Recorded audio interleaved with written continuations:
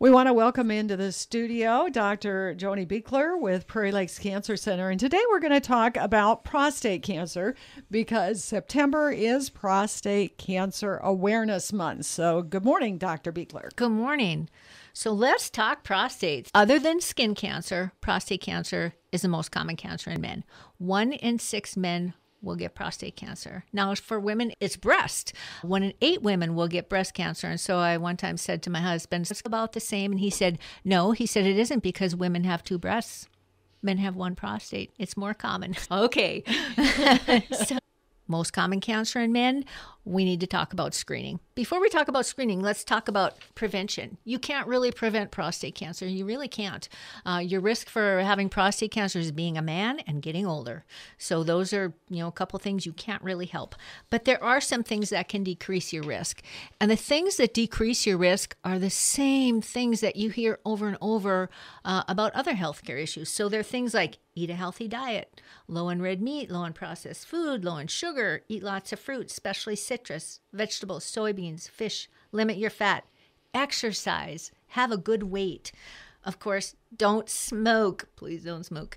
Drink coffee and green tea. So, interestingly, they find that drinking coffee actually decreases the risk of fatal prostate cancer by a certain percentage. So again, my husband was happy to hear that because he gets up in the morning, staggers for the staggers for the coffee. A man maker, after my right? own heart. I do so you too. can't really prevent prostate cancer, but you can do things that decrease the risk. But we should talk about screening. So it used to be that anytime you hit 50, well, we're gonna we're gonna check a PSA. We're, we need to screen, and they're going. They were going by age. We don't really go by age anymore because there's some 50 year olds who are very unhealthy. They have a lot of other health issues, and then there's some 75 year olds that are really healthy. So you can't really. It's a number. Age is just a number. That's the truth. You got to look at the person. What's their medical history? What's their performance status? So we say that if you are 50 years old and the life expectancy is 10 years, then you could get a PSA checked. If you are 45 years old and you have had you have a relative, first degree relative meaning a brother, a dad, uncle, grand, grandpa, if you have one that they call it a first degree relative, you should start getting screened at age 45. If you have more than one, you should start getting screened at age 40. So, screening being two things you can do a PSA test PSA stands for prostate specific antigen. It's a little enzyme that spits out by the prostate, and then we can measure it in your blood.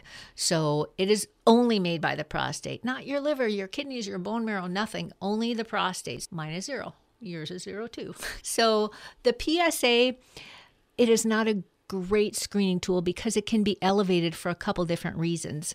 As men get older, their prostates tend to get bigger. You got a bigger prostate, guess what? You're making more PSA. Certain activities, riding bike, infections, different things can make your PSA go up.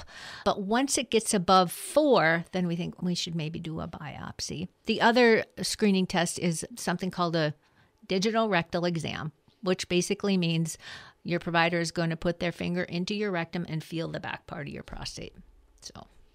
Now, Dr. Buechler, we want to know about if your screening comes back positive, what's the next step? So, if your PSA is rising or your exam is abnormal, then you get a referral to urology.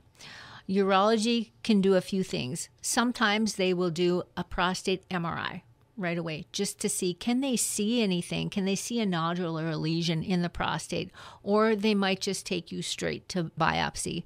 Dr. Maxwell, who is our fabulous urologist at Prairie Lakes, he would do a biopsy. The pathology report comes back. You go in to visit with him, and he will talk about next steps. Sometimes that next step might be more imaging or more staging studies. It could be a bone scan, it could be something called a uh, PSMA PET scan, which is specific for prostate cancer. So he'll talk about further imaging or further workup. There's something called a decipher test. A decipher test is really a great tool that we have. So a decipher test looks at the genetics of the cancer. So not the patient, not the gentleman's 23 chromosomes, not those. We're actually sending the cancer to a lab to have the genetics of the cancer evaluated. And so then we get back a score that says this looks low risk, intermediate, or high risk, and that really helps to guide our treatment. So Dr. Maxwell might start the ball rolling and order some of these tests. He usually has a general discussion with the patient saying these are your options. Options are going to depend upon First of all, how long do we think this patient is going to live? So, again, if you have someone that's pretty unhealthy or has a lot of trips around the sun, maybe the best option is observation. Prostate cancer can be slow growing. If you've got a low risk prostate cancer and you're 94 years old, guess what? You are probably to put it simply, probably going to die from something else, and there's no point in pursuing treatment. Otherwise, then he'll maybe talk about surgery or talk about radiation, hormone therapy. And then if a patient says, absolutely not, I'm never going to have surgery, then he doesn't even send them for a surgical consult. But if they're open to that, then he will send them to surgery, send them to me if they're open to that. It's about what the patient is comfortable with. And I think knowledge is power. So if I had a relative who had prostate cancer, I'd say visit with everybody. Go visit with a surgeon, see what he has to say, visit with the radiation oncologist. Knowledge is power. And then you make the decision that's right for you.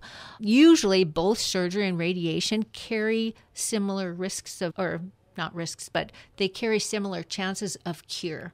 The difference between them is level of comfort for what the patient likes to do and side effects. So this it, it has to be what the patient is comfortable with. And like I said, I think it's good to talk with everybody and then make a decision. I always tell patients, I'm not here to talk you into or out of anything. I'm here to give you information so you can make the decision that's right for you. And then I tell them when you make the decision, you name it and you claim it. Don't go home and not sleep and toss and turn and think, should I have done this? Should I have done that? Nope, this is the decision you made. This is the one that was right for you. And then you forge ahead. What is radiation oncology? Radiation is a way to kill and cure cancer using high energy radiation. We're talking about prostate cancer today. So, when we treat prostate cancer with radiation, the first thing we do is we start with called it's called a simulation. We have you lay on a CT table. We put you in the treatment position, which by the way is very comfortable. You're on your back. You have something under your knees, pillow under your head, and we do a CT scan with no contrast. I take that CT scan and I create a plan for you. One size does not fit all. We don't lay you on the treatment table and just open it up and full bore give you radiation. We have to create a plan specific for your anatomy and your disease. We start with a simulation, we take those images, create a plan. Radiation, it, it is a daily Monday through Friday treatment and it's usually a usually 28 treatments. So we're talking almost 6 weeks of daily visits to the cancer center. Now you're not there long. I tell people you're in the building about 30 minutes. So you come in, you say hello to Ruth and Barb at the front desk and you have a little chat with them. Then you wait your turn. They take you back. You have to change your clothes up on the treatment table. You're on the table about 10 minutes. So the treatment itself really does not take very long. Then the treatment is done and you're down and off the table and out the door. So I tell people 30 minutes, 10 minutes on the table. Mondays, you're going to be there a little bit longer because Monday is your doctor day. So, like it or not, every Monday you have to visit with me and we talk about the side effects and how to manage them. Radiation is a it's what we call a local treatment. So chemotherapy, which we're not talking about now, and uh, is something that gets injected or taken as a pill, and it goes through your whole body. It goes through your whole body looking for cancer cells to kill. Side effects can also be through your whole body.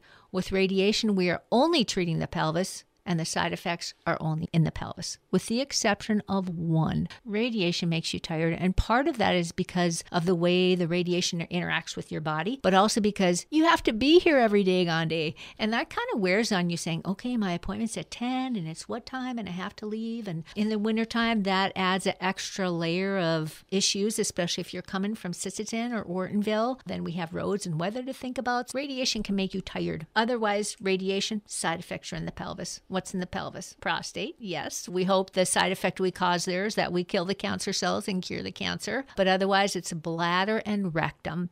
So, radiation to the pelvis, it can affect your bowel movements and it can affect how much and how often you urinate.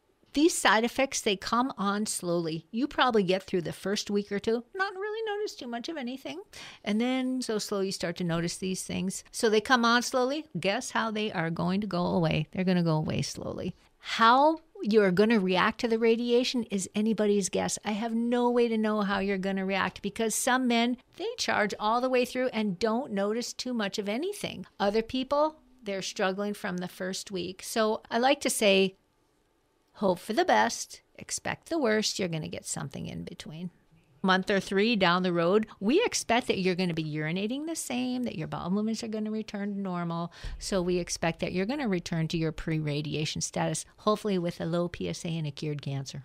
The fact remains that the lower the stage and the lower the risk of prostate cancer, the more likely it is to be cured. So if you come to me and you're a stage three or four, your chances of being cured are going to be a lot less than a stage one or a stage two.